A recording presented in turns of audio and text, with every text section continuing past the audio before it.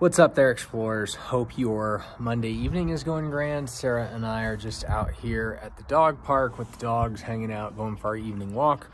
We went to Mesa, Verde National Park today. Was not at the top of the list of parks for me, but definitely glad we went. Definitely glad to learn. Definitely enjoyed uh, kind of driving through the park. Probably not one we'll go back to super, super soon, but um, definitely fun to see a different part of the country and learn about a different culture and kind of see some stuff that we've never seen before. So if you've not been to national parks, if that's not just been like part of your tra regular travel plan, I cannot encourage you more to do so.